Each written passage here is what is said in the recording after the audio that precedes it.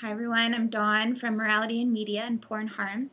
We direct a project called Safe Schools, Safe Libraries. I just wanted to take a minute to explain why we launched this and why we're working so hard to make sure that uh, all libraries in the country have filters installed.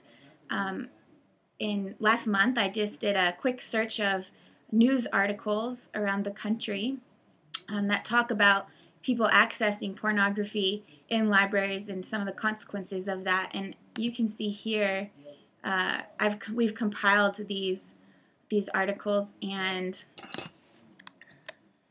we have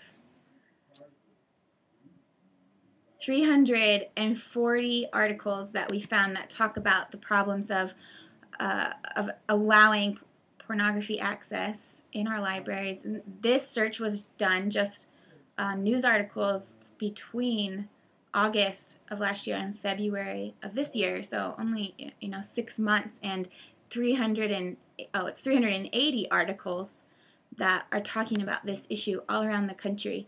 Um, we put together a website, Safe Schools, Safe Libraries project, and on this we've we've also linked to some articles that talk about the problem, and I just wanted to share a few with you so that you understand the real consequences of of allowing this, and hopefully you'll get involved in the project and make sure that your local libraries are safe. Um, last year, in New York, the New York City Public Libraries uh, made some public statements saying that they will allow access to pornography in their libraries, and no one's going to stop them. Um, but you can see shortly after that, uh, there there were was a slew of articles about this whole New York thing, but one patron who says, you know, you'll see three or four kids, 13 or 14 years old, and they're all gathered around a computer giggling. Uh, and, and, it's because they're all looking at pornography. All these kids are just, that's where they get it. And it's free. And so parents are sending their kids to the library thinking they're going to be doing schoolwork and so forth. And here there's, it's, we're learning that that's not all that they're doing. Um, do you want your kids to be exposed to pornography and to be accessing it at their library. Uh, also, recently uh, in Massachusetts, a man was um, arrested for viewing child pornography on the public library computers.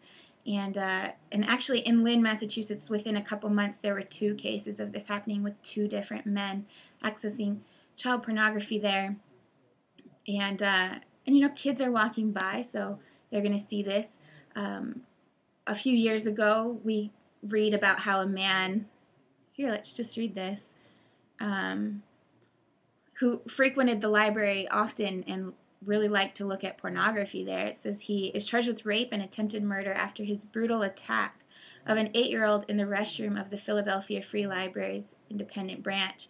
He admitted that he choked her, um, and the girl was hospitalized afterwards. And this all happened right after he viewed pornography at that library because there were no filters in place. Um, here's unfortunately another story, a news article. You wouldn't expect a 10 year old boy to be molested inside a public library. But according to these court records, that's exactly what happened Tuesday afternoon on the other side of this bathroom door at the Hilltop branch of the Columbus Metropolitan Library. 19 year old Michael Hill now faces several felonies.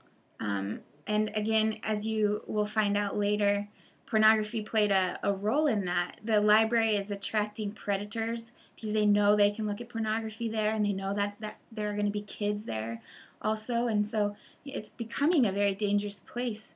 Um, in Seattle, recently, um, a mother and her daughter were exposed to pornography uh, they went and talked to the librarian about it, and the librarian, and this this was in Seattle. The librarian said, "There's nothing that we can do," and that they're going to continue allowing patrons to view and access pornography um, in their library system.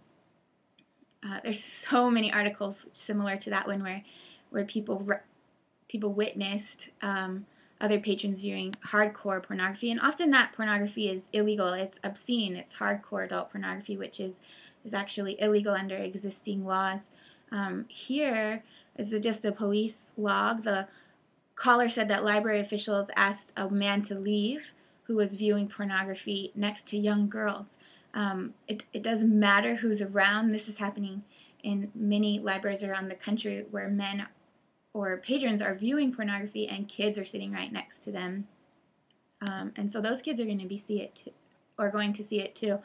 Another thing that is is common in a lot of these news articles is are are men who are viewing images of, of pornographic images on the computers and then they print it out and they leave it around the library for whoever walks by to see. They get, they get off on that, just knowing that a child or the librarian or the old lady is going to walk by and sit down and on the table right next to them there's going to be, you know, images of bestiality and rape and they're going to be exposed to it regardless of if they want to or not. That happens often.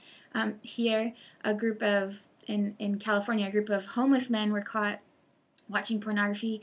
One of the man, one of the men, um, was masturbating there in the group, and that's also common. Uh, it's it's often very common for people to come to the library and they're watching pornography and masturbating right there in public, or exposing themselves as kids walk by or other patrons.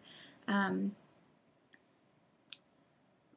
let's see another another big issue uh, with uh, allowing pornography in libraries is it is uncomfortable and creates a hostile work environment for the employees of the library. Um, a couple of this one talks about uh, in Minnesota, a group of 12 employees sued the library system because the library refused to do anything about it.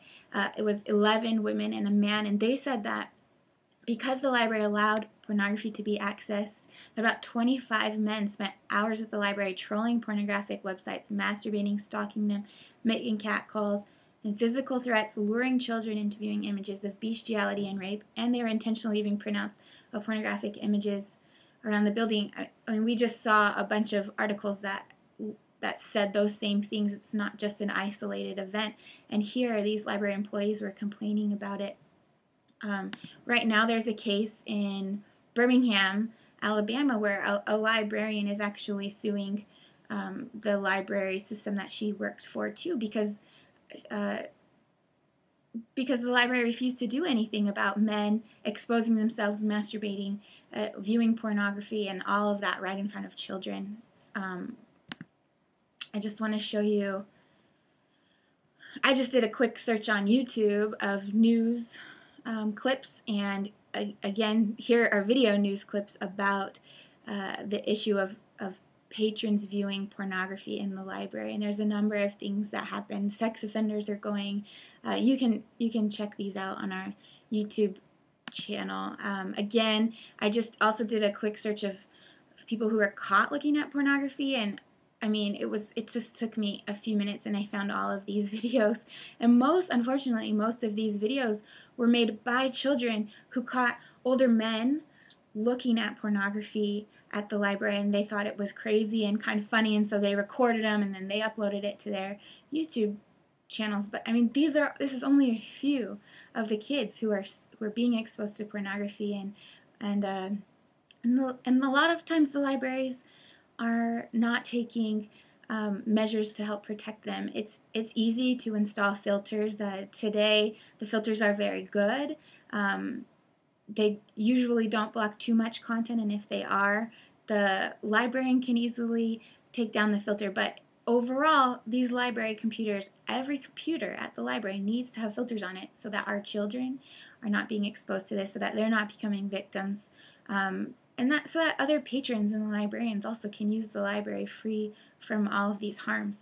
Um, I hope that this helps you understand a little bit more about why we are leading this project to get filters installed in every library and school and why we're asking you to help lead the project in your community. We can't we can't do this ourselves. We need volunteers. So if you're interested, go to safelibraryproject.com, look around, see what's on there and then contact us and let us know that you want to you want to help.